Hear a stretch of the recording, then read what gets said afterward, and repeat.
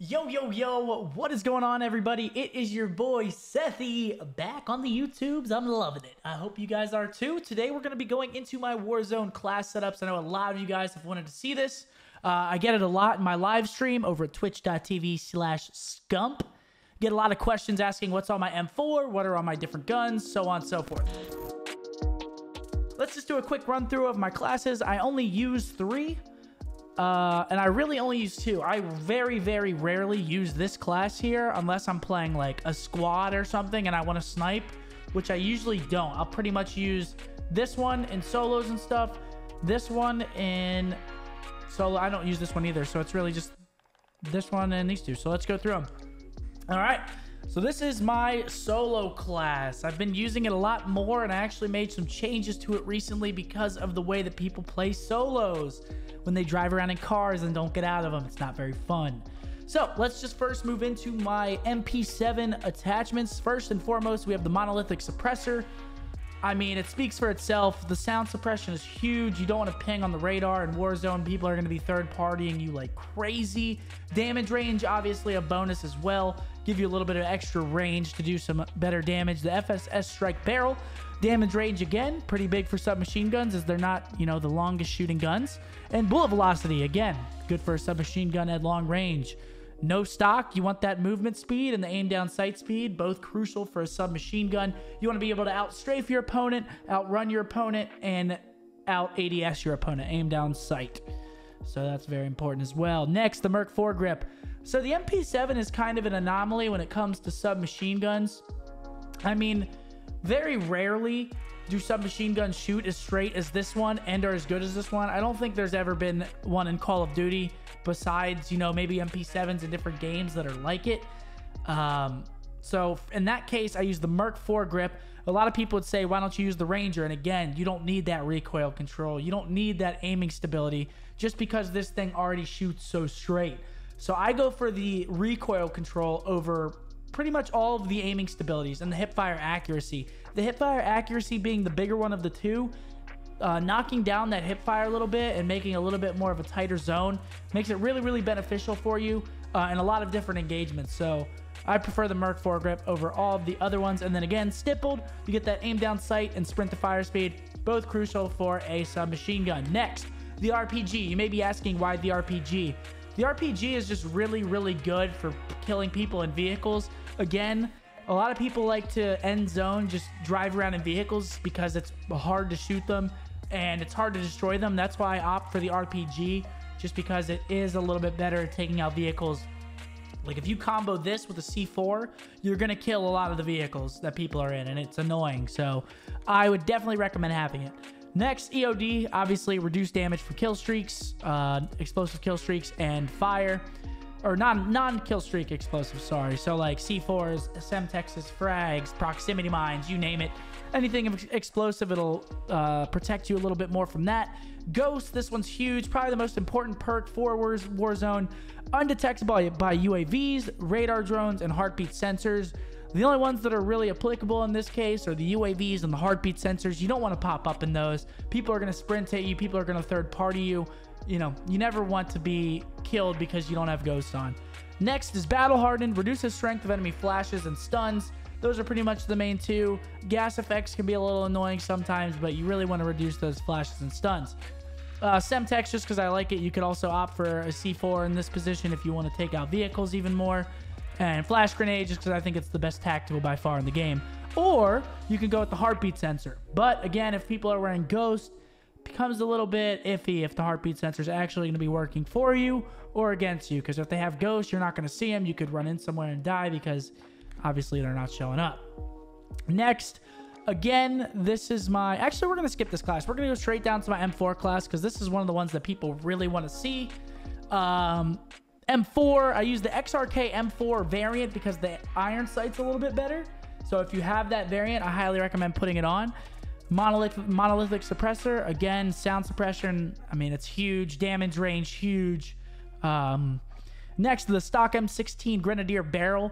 So in this uh, place right here, in the barrel category, if you want to use the Corvus as well, they're both very similar. I just prefer the stock M16. It's a little bit better in my opinion, but they're both very, very similar. Again, pretty much just preference at this point. I would recommend the stock M16 or the Corvus, whichever one you prefer.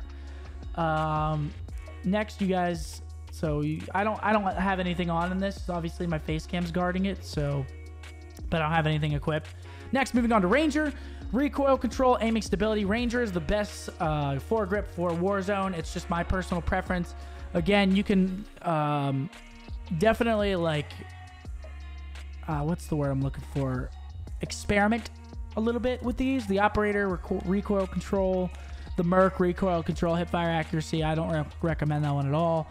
Ranger is pretty much the the one that most people you'll you'll be seeing use uh, in Warzone. Next, ammunition, 60 round mag. I like to have the extra the extra shots just in case you get third partied, just in case you're facing a full squad.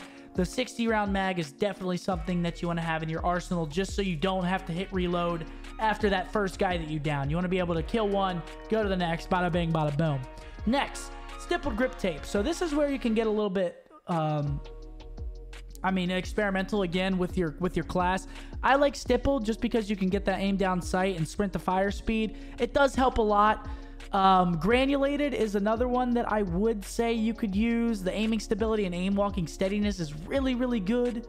Um, and rubberized as well. Recoil control and aiming stability. I mean, the recoil control with rubberized is insane. Like your gun's not going to recoil pretty much at all. Um, but I again like that little boost of aim to aim down sight and sprint to fire speed. So that's why I throw that on next. RPG again, same reasoning as the MP or the MP7 class. Want to be able to kill those uh, vehicles and other things that are annoying. Uh, this class I actually have amped on just because it is faster weapon swap and rocket launcher reload speed.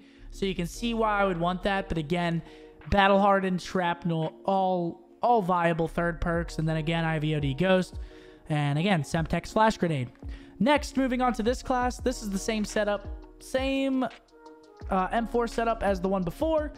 This one gets a little bit more creative. I mean, I have a heartbeat sensor on again. It's hit or miss. It can help, it can hurt. You never know. Um, the only real change I have in this one is I don't have my rocket on, so I took off amped, and then I have overkill on. Overkill is so iffy, man. It's like if someone has a UAV you know, you're just a sitting duck. It's, yeah, I would only recommend this class if you're going to be playing squads and stuff like that. I mean, I just I just wouldn't use it again if you're not playing squads. If you're playing solos, I would not use this. Monolithic speaks for itself. Sound suppression, damage range, huge on a sniper. Uh, the HDR Pro, these barrels I really don't see being used at all. Uh, this one's just damage range, bullet velocity, recoil control. You know, it just hits on pretty much everything you need. So the 2 point or 26.9 HDR Pro, the optic, we're going to be using the thermal. I know, please don't roast me. A lot of people don't like the thermal, but it's too good not to use in Warzone. It's just, eh, it's so much easier to use than these other ones. You can also go with the thermal dual power scope if you want to be able to change that magnification uh, on your targets if they're shorter, closer, further, you know. Uh, but I just use the regular thermal. Next, you can't see this, but I have the F-Tac Champion. I like the aim walking stability and aim walking steadiness. You don't really need a stock. Uh, you could all, you could honestly swap this stock with like a sleight of hand if you wanted to, but I just like to have that aiming stability and aim walking steadiness if I am strafing against another sniper. And then last but not least, the ammunition nine round, just a couple extra bullets, nothing too crazy there. But yeah, I mean those are my classes. I really don't use that many for Warzone. Um, I mean, if you're looking for classes, there you go.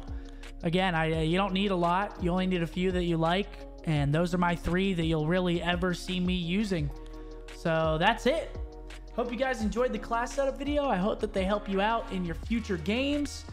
Uh, hopefully you use them and enjoy them. If not, it's cool. Use whatever you like. Uh, I always say personal preference is a lot more important than using, you know, whatever everyone else is using. But let's just take one last dip here into my stats because I know you guys probably want to see these. Um, I don't really play Warzone as much. I'm trying to get into it a little bit more now that I'm starting YouTube back up. Uh, if this will load, so I'm at 1,552 kills with a 4.83 kill death ratio, average kills being 14 per game. Wins, we're looking at 30 wins with 79 losses. So I'm really, you know, I really like my my ratio here. Um, I don't have that many losses, but I have a decent amount of wins. So again, trying to work on everything a little bit more.